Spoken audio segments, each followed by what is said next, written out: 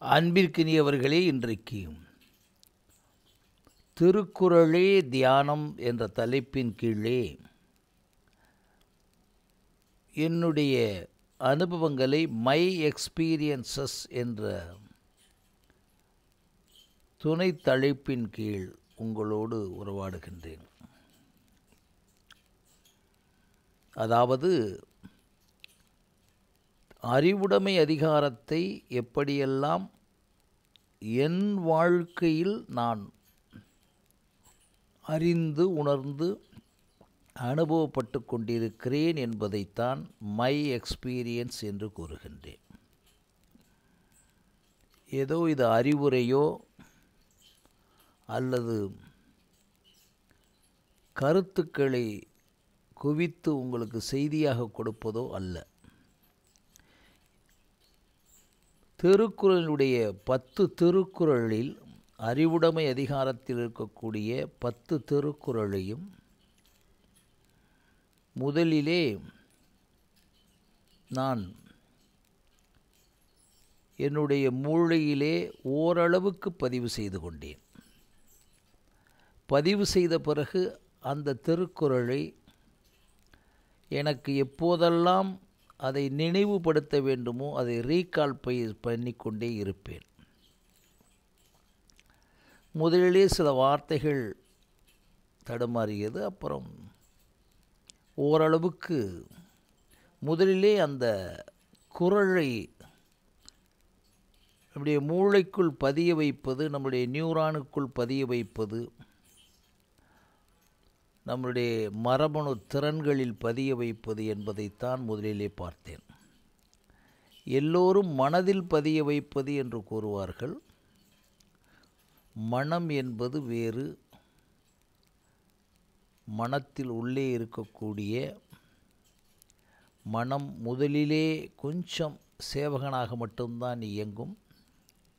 அந்த மனத்தை நீங்கள் எப்போதெல்லாம் வேண்டுமோ பயன்படுத்த தொடங்கலாம் எப்போதெல்லாம் வேண்டுமோ அதை சுவிட்ச் ஆஃப் பண்ணிவிடலாம் எண்ணங்கள் இருந்தால்தான் மனம் எழும். கனவற்ற உறக்கத்திலே உங்களுக்கு நினைவே இல்லாத போது மனம் எழாது. அதனால்தான் நான் மூளைக்குள்ளே இருக்கக்கூடிய நியூரான்களுக்குள்ளே இருக்கக்கூடிய மரபணு திறன்களிலே பதிந்தால்தான் ஓரளவுக்கு நமக்கு அதை நினைவுபடுத்தும் போது நினைவாற்றலாக வெளியே வரும். அறிவு இந்த பத்து திருக்குறளை ஓரளவுக்கு நான் உணர்ந்தேன். அறிவு முதல் திருக்குறள் அறிவு அற்றம் காக்கும் கருவி செருவார்க்கும் உள்ளழிக்கலாக அரண். உங்களுக்கு தெரிந்தது தான் நான் செய்தி ஏன் இதை சொல்ல வருகிறேன் என்பதை புரிவீர்கள். சென்ற இடத்தில் செலவிடா தீதொரி தமிழில் இப்படி ஒரு வேடை பாருங்கள் தி தொரி சென்ற இடத்தில் செலவிடா தீது ஒரி தீது ஒரி இது என்னை ரொம்ப அப்படியே ஆச்சரியப்படுத்துது. தமிழில் இப்படி ஒரு வார்த்தை இருக்கிறதா என்பது. மற்றவாறு ஒவ்வொரு எழுத்து தான் தீ இருக்குது தூ இருக்குது ஓ இருக்குது ரீ இருக்குது ஈ இருக்குது இப்படி ஒரு இத்த எழுத்துக்களுடைய கலப்பினமாக இருக்கக்கூடிய வார்த்தைகளை நான் வேறு எங்கும் இன்னும் பார்க்கவில்லை. உங்களுக்கு தெரியலாம்.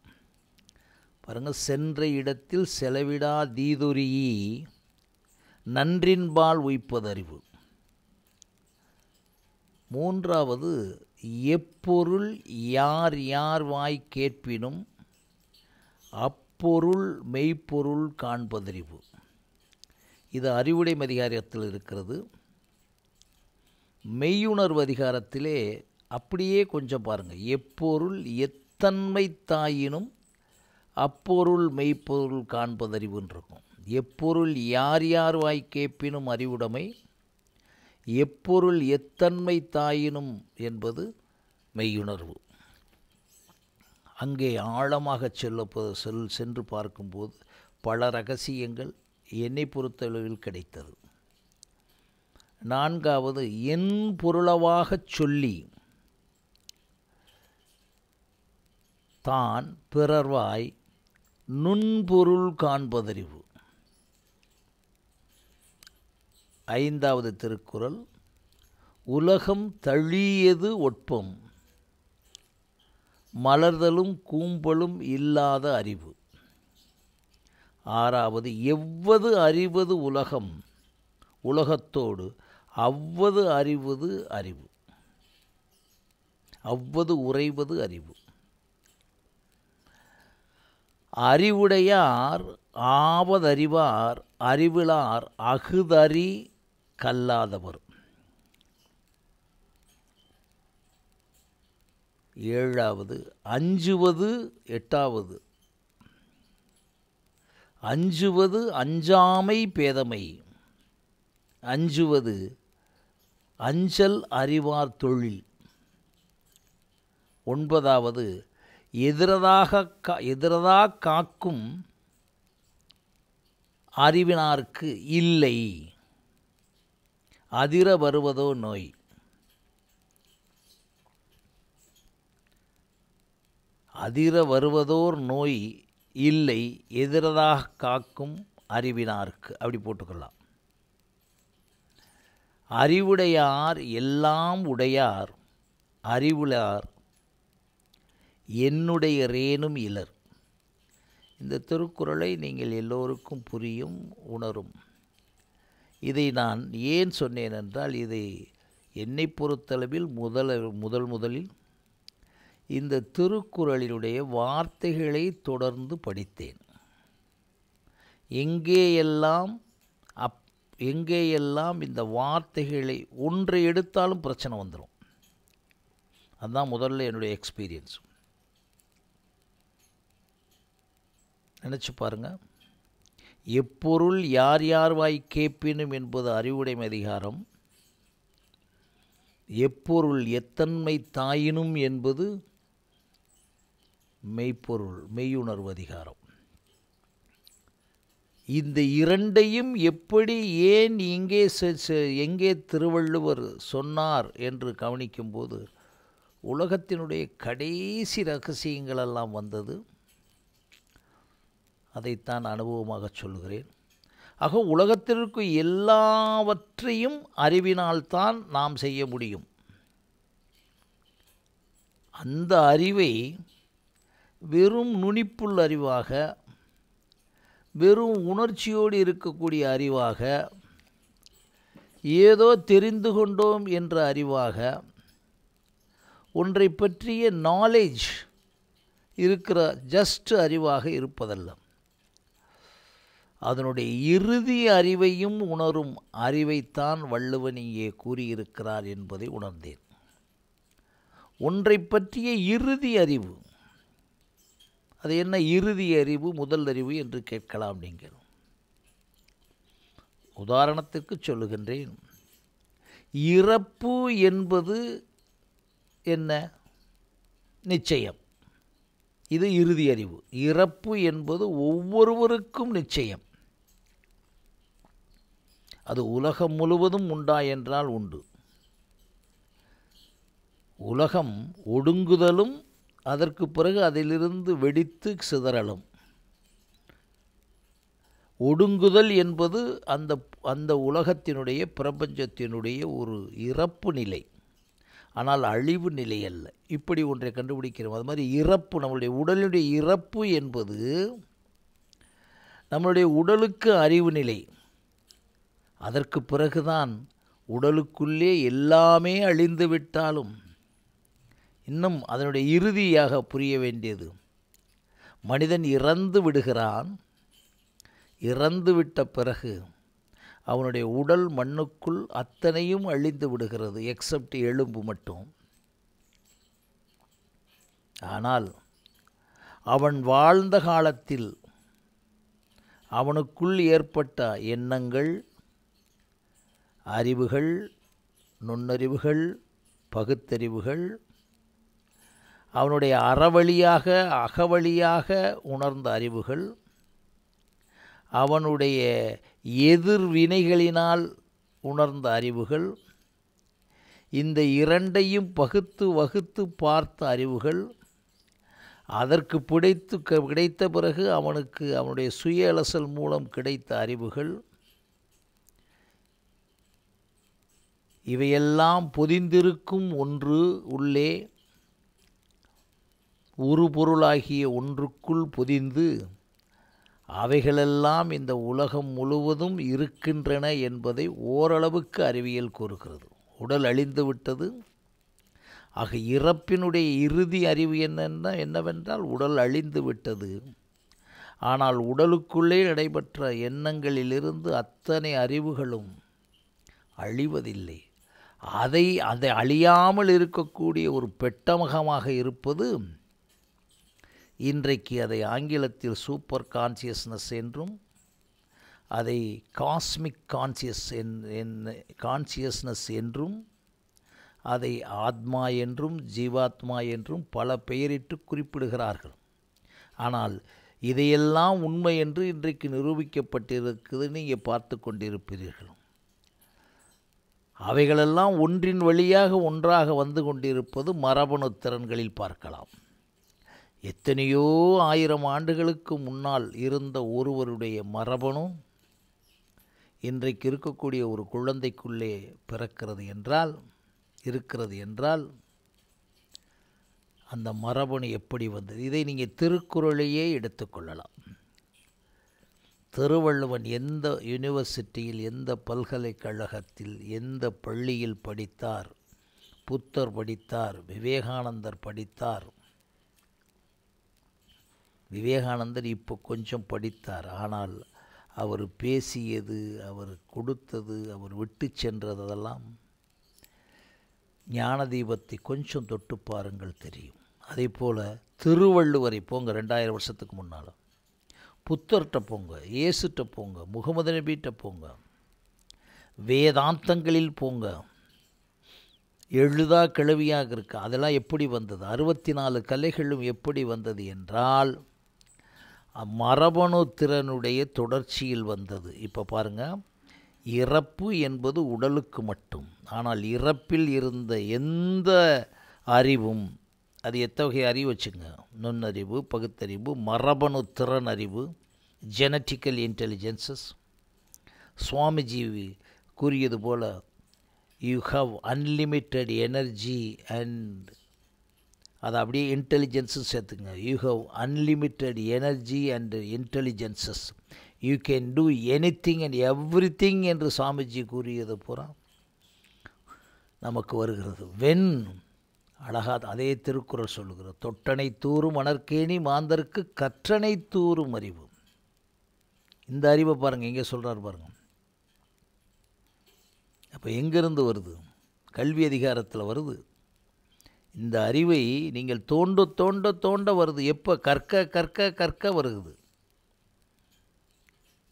அப்போ இந்த அறிவுகளெல்லாம் நாம் பொதிந்து இருக்கக்கூடிய இறுதி அறிவை உணர்வது தான் அறிவுடைமையை பற்றி வள்ளுவன் கூறியதாக நான் உணர்ந்து ஓரளவுக்கு ஒவ்வொன்றிலும் பார்க்க ஆரம்பித்தேன்.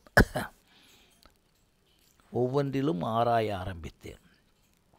அப்போ எனக்கு கிடைச்சது வள்ளுவன் கூறிய விஷயம். நாம் நினைத்திருக்க அறிவியல் அறிவோ இறுதி அறிவோ என்பது நமக்குள் ஏற்பட்டிருக்க அனுபவமே தவிர இதற்கு பிறகு இன்னும் இதை கேட்பவர்கள் இன்னும் பல ஆயிரக்கணக்கான ஆய்வுகள் நடத்தலாம். ஆனால் என்னை பொறுத்தளவில் என்னுடைய அனுபவத்தை பொறுத்தளவில் ஒவ்வொன்றினுடைய இறுதி அறிவை காண வேண்டும்.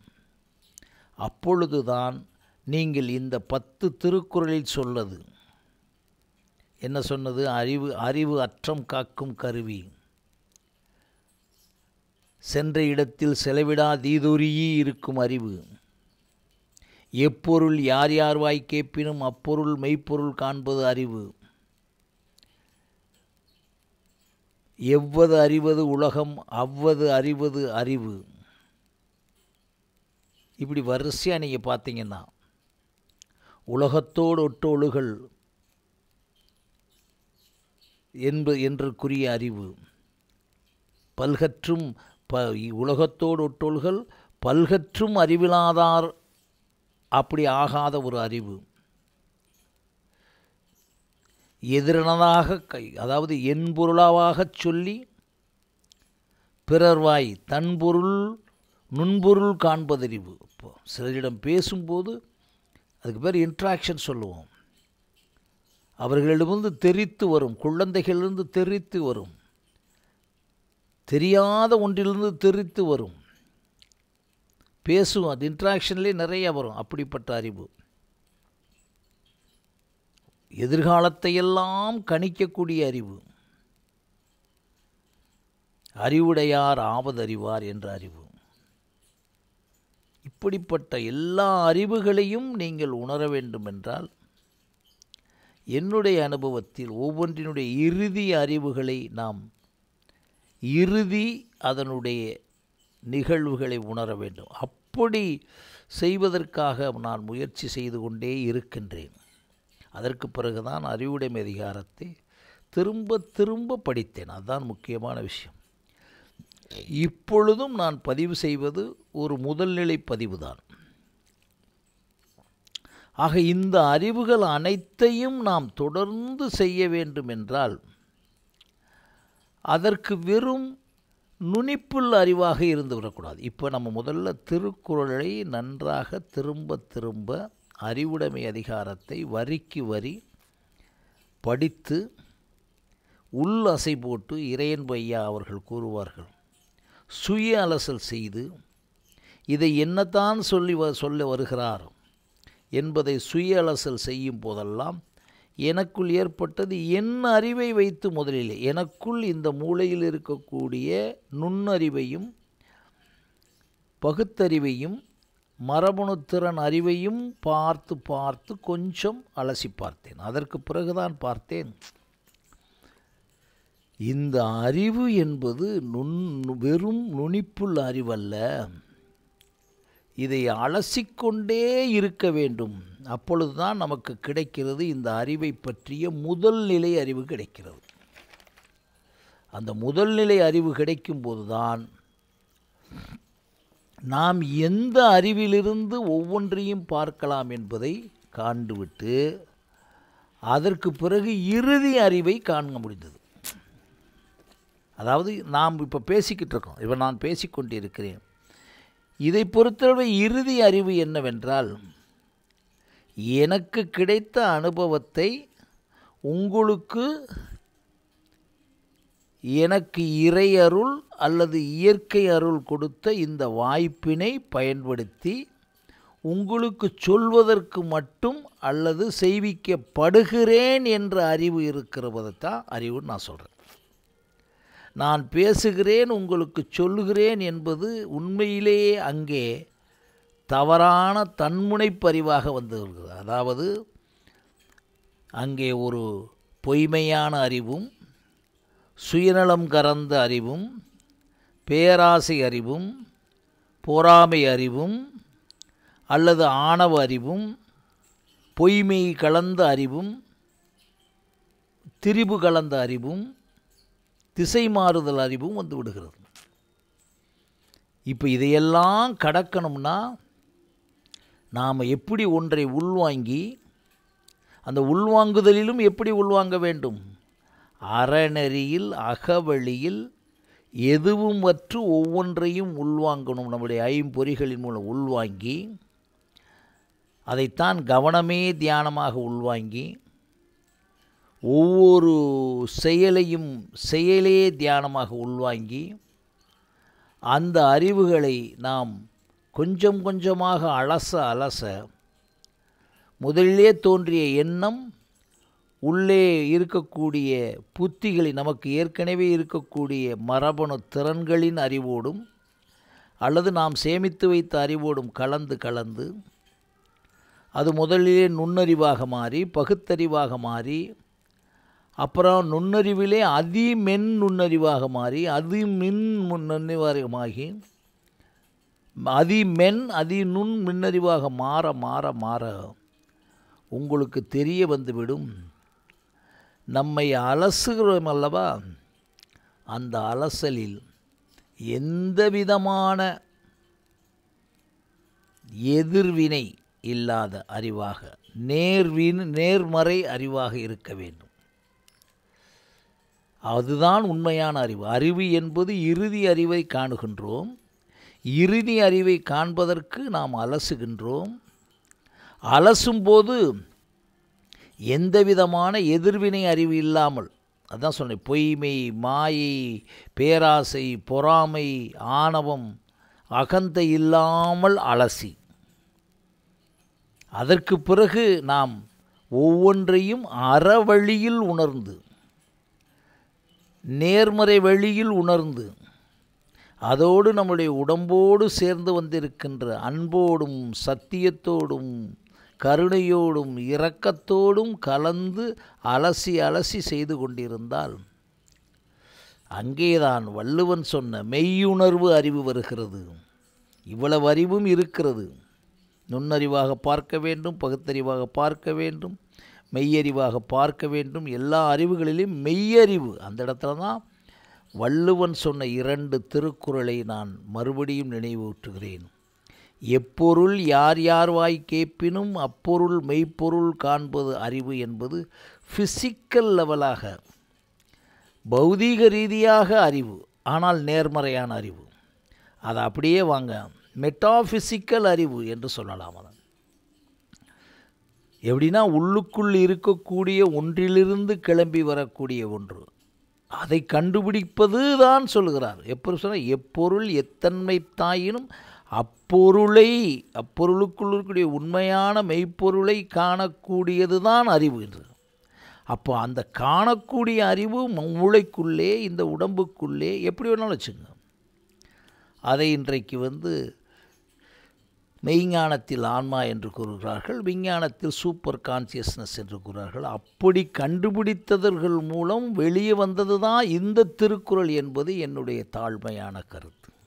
இல்லையென்றால் இத்தனை ஆண்டுகள் கழித்தும் இந்த திருக்குறள் உயிர்ப்போடு மட்டுமல்ல ஒவ்வொரு காலத்திற்கும் ஒத்துப்போய் ஒவ்வொரு மனிதனுக்கும் ஒத்துப்போய் எந்த மனிதனும் இதை வந்து தவிர்க்க முடியாமல் இந்த ஊழ் என்ற அதிகாரத்திலே சொல்லுவார் நீங்கள் என்ன செஞ்சாலும் ஊழ்வினை இருந்தால் தான் நீங்கள் செய்ய முடியும்னு சொல்லுவார். ஆனால் அதையே ஒரு இடத்துல அப்படியே உங்களுக்கு ஒரு சான்ஸ் கொடுக்குறாரு. என்ன சான் சான்ஸ் கொடுக்குறாருன்னா உங்களுடைய ஊழையும் உட்பக்கம் காண்பர் அப்படின்னு சொல்கிறார் அப்படியே நீங்கள் வந்து மெய்வருத்த கூலி தரும்னு ஒருத்தர் சொல்கிறார் அழகா. தெய்வத்தான் ஆகாதனினும் மெய்வருத்த கூலி தரும். எவ்வளவு பெரிய விஷயத்துக்கு ஒரு சான்ஸ் அப்போ இது இந்த இந்த தெரிப்புக்கள் இந்த தமிழின் வார்த்தைகள் இந்த தமிழின் கோர்வைகளெல்லாம் எதிலிருந்து வந்திருக்க வேண்டும்? நிச்சயமாக மெய்யுணர்வில் தான் வந்திருக்க வேண்டும். அந்த மெய்யுணர்வையில் இருக்கக்கூடிய அறிவு மெய் அறிவு ஸோ முதல்ல இருக்கக்கூடியது வந்து பொய் அறிவல்ல முதல்ல இருக்கக்கூடியது பௌதீக அறிவு. இப்போ நம்ம வந்து இப்போ இப்போ ஒவ்வொன்றையும் பார்க்கிறோம் கேட்கிறோம் பேசுகிறோம் பொறிகளினால் புலன்களினால் உடனே உணர்கிறோம். அது பௌதிக அறுப்பு. பொறிகளையும் கடந்து புலன்களையும் கடந்து ஒரு அறிவு உள்ளே இருந்து பார்க்கிறது. அதை தொடர்ந்து உணரும்போது தான் அந்த இடத்துல தான் நான் உணர்ந்தேன். நான் இந்த திருக்குறளை பல வருடங்களாக படித்து கொண்டிருக்கிறேன். இப்பொழுதும் முதல் நிலையாகத்தான் உங்களுக்கு பதிவு செய்கிறேன். இன்னும் இந்த பத்து திருக்குறளை பாருங்கள் ஒன்றோடொன்று போகுது. தொட்டனை தூறும் அறிவு என்று சொல்லுகிறது. அறிவு என்பதே பல இடங்களில் வருகிறது. அப்போ எப்படி புரிஞ்சுக்கிற முடியும்? அந்த அறிவினுடைய விரிவாக்கம் சென்று கொண்டே இருக்கிறது. ஆக நாம் ஒரு கத்துக்குட்டியாக இந்த அறிவை எப்படி உணர்ந்து கொண்டிருக்கிறோம் என்பதைத்தான் உங்களுடைய பதிசுகிறேன் ஆனால் ஒன்று மட்டும் உறுதியாக சொல்லுகிறேன். திருக்குறளை குழந்தைகளுக்கோ மற்றவர்களுக்கோ படிப்பவர்களுக்கோ வெறும் மனப்பாடம் செய்துவிட்டோ அல்லது திருக்குறை பொழிப்புரை சொல்வதல்லோ திருக்குறள். ஒரு மனிதன் கடவுளை அறிய வேண்டுமென்றாலும் திருக்குறள் தான். வள்ளுவன் சொல்வது போல உலகத்தில் இருக்கக்கூடிய அத்தனையும் அறிவுடையார் ஆவதறிவார் என்ற வள்ளுவன் சொன்ன. உலகத்தில் இருக்கக்கூடிய எதிர்காலத்தை பூராம் தெரிய வேண்டும் என்றாலும் திருக்குறள் தான் அதே போல அறிவுடையார் எல்லாம் உடையார் என்று வள்ளுவன் சொல்வது போல உலகத்தில் இருக்க அத்தனையுமே தனக்குள் இருக்கிறது தனக்குள் ஐக்கியப்பட்டு கொண்டிருக்கிறது தன்னை செய்விக்கிறது என்றதை உணர்வதற்கும் வள்ளுவன் தான். நீங்கள் ஆயிரக்கணக்கான வேதாந்த நூல்களை படித்து பாருங்கள் மறைநூல்களை படித்து பாருங்கள் ஆயிரக்கணக்கான விஞ்ஞான நூல்களை படித்து பாருங்கள். ஆயிரக்கணக்கான நிர்வாக நூல்களை படித்து பாருங்கள். உலகத்தில் இருக்கக்கூடிய அத்தனை வாழ்க்கை முறைக்கும் ஒவ்வொரு அதிகாரத்துக்குள்ளே நீங்கள் சென்று ஒரு மூன்று வரிகளை படித்தால் போதும். கடவுள் வாழ்த்து என்பதிலே ரொம்ப சிம்பிள். வேண்டுதல் வேண்டாமை இலான். அந்த ஒன்றை பிடிச்சிங்கன்னா விருப்பு வெறுப்பற்று இருக்கும் நிலையா? பற்றற்றான் பற்றினை பற்றுக. ஒரே இது. நீங்கள் இறைவனை பற்றுகன்னு சொல்கிறீங்கல்ல இந்த உலகத்திலே பற்றற்றான் பற்றினை பற்றே இல்லாமல் இருக்கக்கூடிய மனிதர்கள் இருக்கிறார்கள். விருப்பு வெறுப்பற்ற நிலை. இப்படி நான் ஆராய்ச்சி பண்ணிக்கொண்டே இருக்கக்கூடிய ஒரு சின்ன மாணவன். அந்த பதிவுகளை ஆக திருக்குறளை குழந்தைகளுக்கு சொல்லிக் கொடுக்கும்போது இறையன்பு சொல்லுவார் அது வாழ்க்கையாக மாற்றக்கூடிய விஷயமாகும் பொய் சொல்லக்கூடாது என்ற அதிகாரம் இருக்கிறது. வாய்மை அதிகாரத்திலே சொல்லுகிறோம். பொய்யே சொல்லக்கூடாது என்று ஏன் பொய் சொல்லக்கூடாது? அந்த பொய்யினால் இந்த உடம்பில் இருக்கக்கூடிய ஒவ்வொரு அணுவும் சிதைகிறது என்பது தான் இறுதி உண்மை. நீங்கள் அன்பாக இருந்தால் உங்களுக்கு டென்ஷன் வந்து விடாது. நீங்கள் இரக்கமாக இருந்தால் உங்களுக்கு டென்ஷன் வந்து விடாது. நீங்கள் கருணையாக இருந்தால் உங்களுக்கு டென்ஷன் வந்துடாது நீங்கள் புரிந்த உணர்ந்த தெரிந்த உண்மையை பேசினால் டென்ஷன் வராது. அந்த டென்ஷன் தான் உலகத்திற்குரிய அத்தனை வியாதிகளுக்கும் காரணம் என்று மருத்துவம் கூறுகிறது. ஆனால் அந்த அன்பையும் கருணையையும் சத்தியத்தையும் நேர்மையையும் அற அறச்சிந்தனைகளையும் இந்த உடம்போடு இந்த உயிரோடு இந்த உணர்வோடு இந்த மரபணு திறனோடு ஒவ்வொரு செல்களிலும் பதிய வைத்திருக்கிறதே ஒன்று. அந்த சக்தி தான் இறை சக்தி அல்லது இயற்கை சக்தி என்பதை இறுதியாக புரிந்துவிட்டால் கடவுளை பற்றி புரிவதற்கு சொல்கிறேன். நீங்கள் எல்லாவற்றையும் செயலாக்க துணிந்து விடுவீர்கள். செயலே தியானமாக்கி விடுவீர்கள். அந்த செயலே தியானத்தில் தான் உண்மை சத்தியம் இரக்கம் கருணை எதிர்வினையற்ற ஈகோ அற் ஃபால்ஸ் ஈகோ அற்ற அதாவது அகந்தையற்ற பேராசையற்ற எல்லாமே அப்படியே உங்களுக்கு ஓடி வரும். ஸோ இந்த அலசல் தான். இதைத்தான் நம்முடைய பெரியவர்கள் ரிஷிகள் சொல்கிறாங்க இந்த பிறப்பு என்பது மானிட பிறப்பு என்பது மகா ரகசியமான ஒன்று. அந்த பிறப்பை அனுபவிப்பதற்குத்தான் நாம் இந்த உலகத்தில் பிறக்க வைக்கப்பட்டிருக்கிறோம். அதே மாதிரி இறக்க வைக்கப்படுகிறோம். இந்த பிறப்பிற்கும் இறப்பிற்கும் கருவறையிலிருந்து வெளியே வந்து கல்லறை வருவது வரைக்கும் ஒரு இறப்பின் உணர்வை உணர வைத்து ஆனால் இறக்கவே கூடாது என்ற ஒரு பயத்தை கொடுத்து இறக்கப் போகிறோம் என்பது இறுதி உண்மை. ஆனால் இறக்கவே கூடாது என்று பயத்தை வைத்து மற்ற நம்மை சுற்றி இருப்பவர்களும் நம்மை இறக்க வைக்கக்கூடாது என்ற சிந்தனையை வைத்து அதற்கு இடையே இந்த அறிவை வைத்து இந்த அறிவை இந்த உலகத்தை பார்க்க வைக்கக்கூடிய மாபெரும் ரகசிய பெட்டகத்தோடு நாம் வாழ்ந்து கொண்டிருக்கிறோம். எனக்கு தெரிந்த அளவில் அறிவுடைமையை பற்றி கொஞ்சம் சொல்லியிருக்கிறேன். என்னுடைய அனுபவமாக மறுபடியும் இதை பற்றி இந்த திருக்குறள் எங்கேயெல்லாம் விரிவாக்கப்படுகிறது என்பதை பற்றி நான் மறுபடியும் சந்திக்கின்றேன். நன்றி வணக்கம்.